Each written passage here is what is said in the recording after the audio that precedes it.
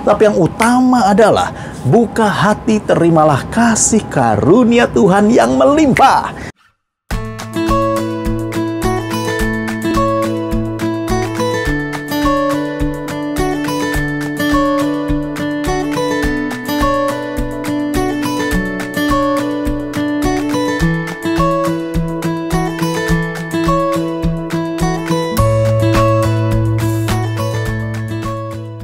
Bagaimana seseorang sanggup mengubah masa hidupnya yang lama dan juga bisa keluar dari perilaku yang buruk, perilaku garang, emosional, bahkan merugikan orang lain?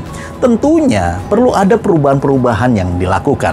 Seperti contohnya yang pertama, keluarlah dari lingkungan yang buruk karena pergaulan yang buruk merusak semua perilaku yang baik. Yang kedua, lakukan juga terapi konsultasi kepada para psikolog untuk masalah-masalah kejiwaan. Tapi yang utama adalah buka hati terimalah kasih karunia Tuhan yang melimpah. Saulus adalah salah satu pribadi yang mengalami transformasi kasih karunia secara nyata.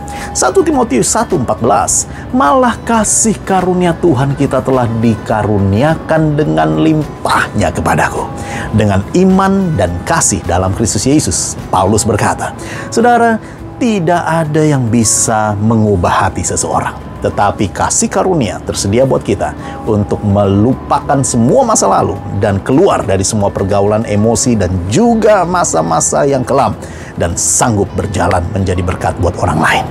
Belajarlah seperti Saulus, terimalah kasih karunia yang besar. Amen.